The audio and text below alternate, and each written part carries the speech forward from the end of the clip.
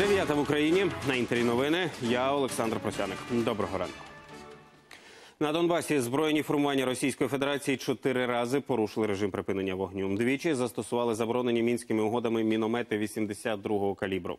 Ворог також обстрілював українських захисників із гранатометів різних систем, великокаліберних кулеметів і стрілецької зброї. Під вогонь найманців потрапили райони поблизу Березового, Миколаївки Другої. Південного та Майорська від початку цієї доби ворог із мінометів калібру 120 мм обстріляв позиції об'єднаних сил поблизу Мар'їнки. Минулося без втрат серед українських армійців. Росія транспортує до українського кордону нові установки для здійснення кібератак. Про це на своїй сторінці у Фейсбуці написав заступник голови Луганської ОДА Юрій Клименко. Він зазначив, що в місті Дмитрів Курської області помітили антенний пост системи СОПКА проїздом у бік України. Він призначений для виявлення та відвертання комп'ютерних атак. Клименко зазначив, що якщо вони можуть запобігати цим атакам, то вони ж можуть їх і генерувати. Та додав, місцева влада зараз встановлює надійні антивіруси і готується до хакерських нападів. Під адміністрацією президента напередодні протестували батьки хворих дітей. Скандал спалахнув через реорганізацію сьомої міської дитячої лікарні на Печерську.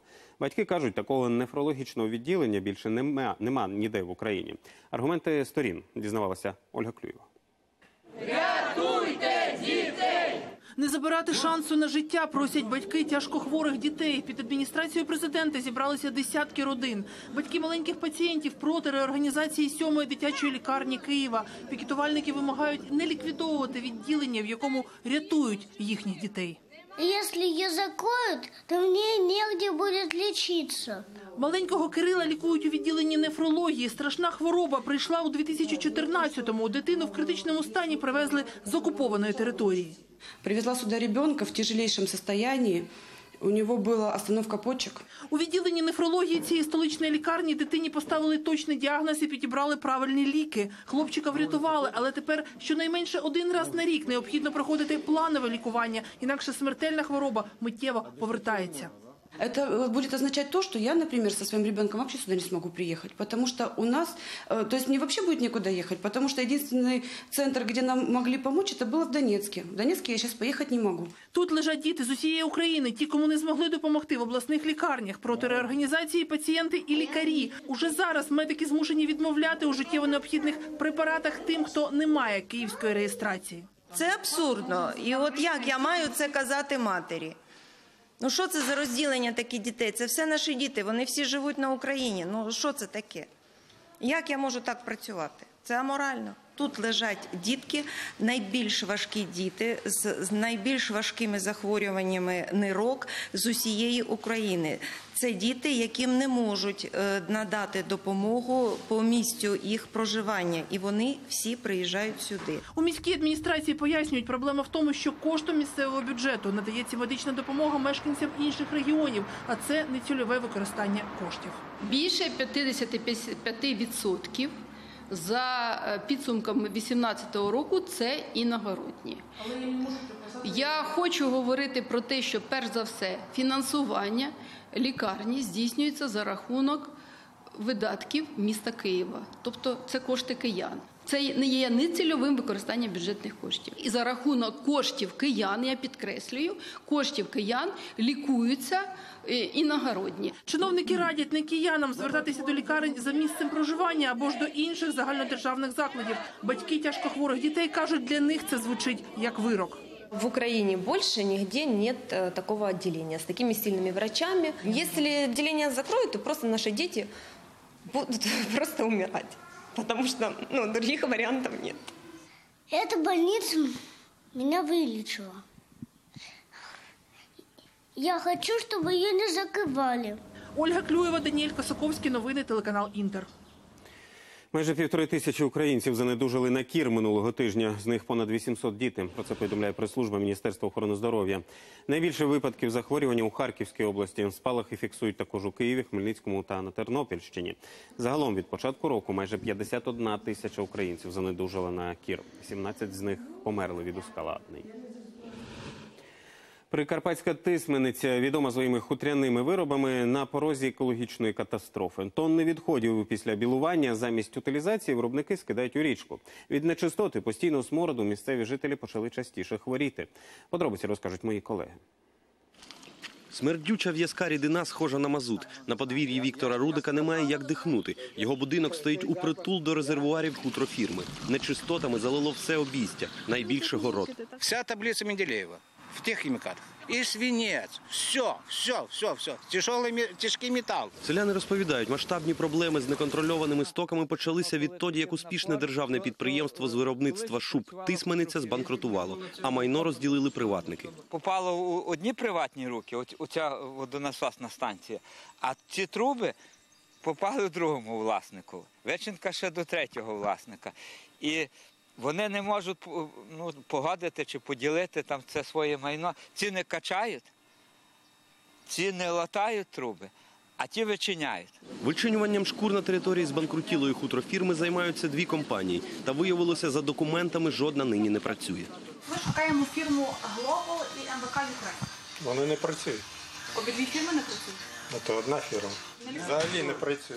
Шукаємо кажучи, фірми здавалися теж. Не роблять, ну. Сотні тонн відходів, які утворюються після вичинки шкур тварин, ніхто не відкачує роками, розказують люди. Із переповнених резервуарів виробники їх спускають у річку уночі таємно.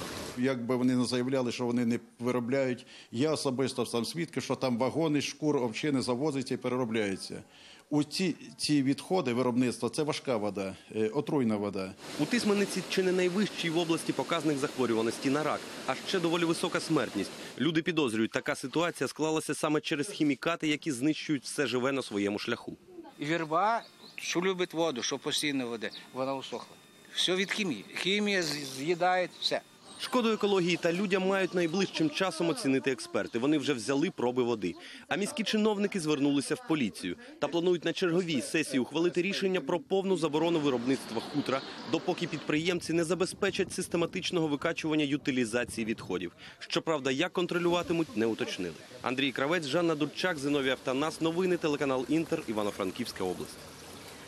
Вертикальна ферма з водою замість ґрунту. Таке міні-підприємство облаштував житель Києва у невеликому підвальному приміщенні. Керувати процесами на фермі можна віддалено з гаджетів, а збирати врожай увесь рік. Докладніше Анастасія Старовойт. Салати, лола біонда, рамен, фрізе, е, рукола, базилік, шпінат, щавель. Ще донедавна Максим консультував великі компанії з питань ведення бізнесу, а сьогодні демонструє власну рослинну ферму. Захотелось что-то сделать своими руками, захотелось там э, условно снять галстук. Вот. И э, у меня был товарищ, который с детства был агроэнтузиастом, выращивал у себя дома в шкафу арбузы зимой. Как-то вот мы там э, пообщались, решили попробовать его это увлечение трансформировать Окрім ідеї, в Максима був лише підвал на 10 квадратних метрів. Тут і започаткував ферму з гідропонним способом вирощування. корни растения находятся не в земле, не в грунте, а в водном субстрате, то есть в, ну, в водном растворе. То есть Это, по сути, вода, обогащенная микро- и макроэлементами. Также это там полная светокультура, так называемая. То есть мы не используем солнечный свет, мы используем э, LED-освещение. Технологія дозволяє керувати кліматом, тож виробничий цикл удвічі коротший, ніж на відкритому ґрунті. Та й площі ця ферма займає менше, адже все росте вертикально на полицях і стелажах. У нас здесь где-то 350 квадратных метров, но так как мы используем этажи, да, если вот эти этажи, грубо говоря, выложить там в один ярус, то это получится там где-то там, а, две, две с половиной, там, две, две тысячи квадратных метров. Одновременно посажено около 40 тысяч растений. Вирощувати можна будь-яку зелень, навіть найекзотичнішу. Пробуем сейчас э, вьетнамскую зелень, она абсолютно э, другая, то есть, там, скажем, тот же базилик вьетнамский, это абсолютно другое растение. Также сейчас есть э, в Киеве тренд на вьетнамскую кухню и вообще на азиатскую кухню. Робочі руки такій фермі потрібні лише для збирання врожаю. Рештою процесів керує так званий електронний мозок. Вот это вот мозги фермы, о которых я э, говорил. То есть все, весь цех, там, вся ферма оснащена датчиками разного рода. Там, температура, влажность, уровень углекислого газа. Э, В баках стоят датчики, у- э, управляющие, там, мониторящие уровень жидкости, кислотность среды, э, количество солей. Там. Така ферма у столиці поки що одна, але її продукція вже має неабиякий попит. Тож її власник мріє про розширення, аби зелені вистачило на всіх охочих. Анастасія Старовойт, Олексій Шматов. Новини телеканал Інтер.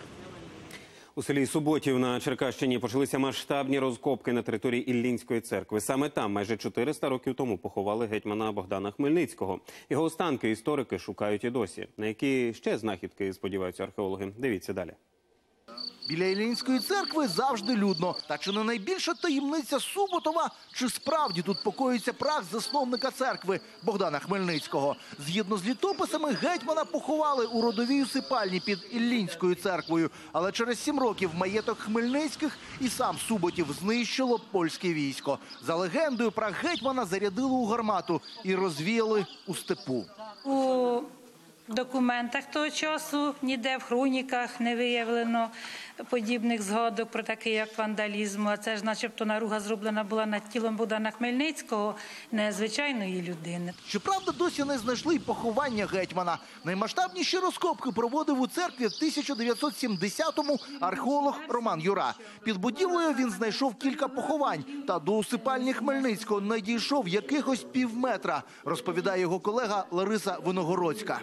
Он дошел вот до этого места, вот так, дошел до этого места, и дальше ему запретили копать. На этом тему закрыли, что Богдан Хмельницкий его выкинули, там куда-то унесли, увезли, и никто не знает, где. Версія радянських часів панувала з півстоліття, але минулої осені у науковців з'явився шанс знайти прах гетьмана. За допомогою сучасної техніки вони просканували підлогу Іллінської церкви та прилеглу територію і виявили цілу систему таємних підземних галерей. До однієї з них нам доводиться пробиратися кілька сот метрів чагарниками. Вот туда пройдите, здесь можно идти, здесь не сыпется. А дальше там можно. Співробітниця інституту археології Лариса Виногородська отримала дозволи на проведення тут масштабних розкопок. Почали з підземних ходів і виявили на п'ятиметровій глибині неподалік церкви подвійну могилу. Відомо, що Хмельницький заповідав поховати його поряд із сином Тимошем. Ну вот предполагается, что это в этом вот здесь, что за- пох- похования, два похования там вроде с перегородкой. Возможно, это Богдан Хмельницкий, Тимош.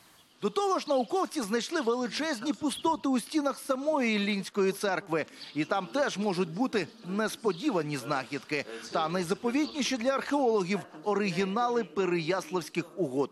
Вони б могли пролити світло на невідомі сторінки історії України. Станіслав Кухарчук, Павло Тимошенко. Новини телеканал Інтер. Черкаська область.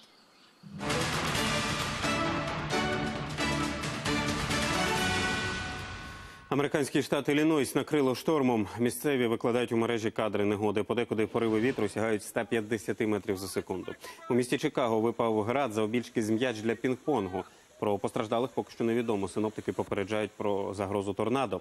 Напередодні через стихію у штаті Оклагома загинуло шестеро людей. Десятки зазнали травм. У японському місті Кавасакі невідомий з ножем напав на групу школярів на автобусній зупинці. Двоє людей загинуло, ще 17 поранені. Опісля зловмисник вдарив себе ножем у шию. Його затримала поліція, але від отриманих поранень він помер. Чому так вчинив, невідомо. Район інциденту оточили. Правоохоронці намагаються з'ясувати особу нападника. У Польщі юнак увірвався до школи та відкрив вогонь по учнях. Стрілянина сталася у містечку Брест-Куявський. Невідомий у масці увійшов до навчального закладу та кинув шумові петарди, після чого відкрив вогонь. Поранення у живіт отримала прибиральниця. Постраждала також 11-річна учениця.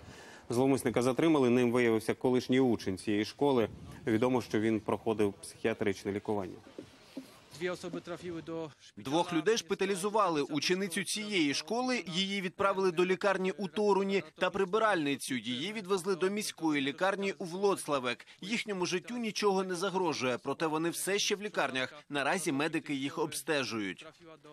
Північ Перу сколихнув потужний землетрус. У районі Лоретто зафіксували підземні поштовхи магнітудою 8. Унаслідок численних сувів та обвалів загинула одна людина, ще 11 постраждали. Зруйновані понад півсотні будинків. Райони Юрі Магуас, Альто Амазонас і Лоретто знеструмлені. Цей землетрус став найпотужнішим у Перу за останні 12 років. Зсуви пошкодили будинки та деякі ділянки доріг. Зараз ми працюємо над їх ремонтом. Поранених оглянули. Здебільшого в них рани несерйозні, однак постраждалі отримають повний курс лікування. Усесвітній фонд дикої природи запустив стрім, який триватиме 450 років. На відео буде розкладатися пластикова пляшка. Мета трансляції спонукати лідерів держав укласти міжнародну угоду, яка б заборонила забруднювати світовий океан пластмасовими відходами. На сайті фонду показують зворотний відлік часу до завершення стріму, а також пропонують підписати петицію про підтримку угоди. У Британії дедалі популярнішим стає незвичний вид спорту реслінг ногами. Як відбувалися цьогорічні змагання та хто отримав золоту ступню, знає Оксана Гашева. У армреслингу з'явився конкурент туреслінг. Цей вид спорту ідентичний традиційному рукоборству, лише з тією різницею, що в ньому беруть участь не руки, а ноги. Реслери сідають один навпроти одного, фіксують щиколотки на спеціальній підставці та намагаються виштовхнути стопу суперника. Грають в три раунди, змінюючи ноги. Кожному поєдинку передує особлива підготовка, огляд на наявність травм і грибкової інфекції. Та окрім цього, спортсмени мають ще й власний підготовчий ритуал. Люди по-різному готуються. Я заради змагань під корінь зрізав нігті на ногах. У кожного з нас є особливий ритуал. Якщо ти щиро відданий боротьбі, без цього не обійтися. Поборотися за золоту стопу може кожен, хто здужає. Серед жінок перемогу цьогоріч здобула Ліса Шентон на прізвисько Швидконога. А чемпіоном серед чоловіків знову став Алан Неш, якого кличуть гидкий. Наразі він абсолютний лідер за кількістю перемог. Я займаюся цим видом боротьби вже 25 років. В мене була невелика перерва, однак за ці роки я завоював 15 світових титулів. А з сьогоднішнім їх буде вже 16, і я не збираюсь на цьому зупинятися. Чемпіон стверджує, запорука перемоги, хороша фізична підготовка та хитрість. Однак з кожним роком тренуватися чоловікові все складніше. Каже, роки беруть своє. Тож Неш вже почав готувати собі заміну свого сина. Він швидко вчиться ще кілька років і стане переможцем. Незвичні змагання проводять з 1976 року. Їх незмінне місце паб у селищі Фенні Бентлі, що у центральній Англії. Оксана Гашева, новини, телеканал Інтер. В Італії показали робота силача, здатного зрушити з місця тритонного літака. Сам же він завважки трохи більше як 127 кілограмів, а завдовжки лише метр. Як один із найдужчих роботів у світі впорався з літаком, зняли на відео. Розробники кажуть, такої вправності йому додають спеціальні кінцівки з гумовими ручками. Завдяки їм робот має міцне зчеплення з ґрунтом. Над прототипом працювали останні 12 років, і надалі його ще вдосконалювати. Як розвиватимуться події, дивіться вже у випуску опівдні. Ну, А в мене поки що все. Гарного вам дня і до зустрічі завтра зранку.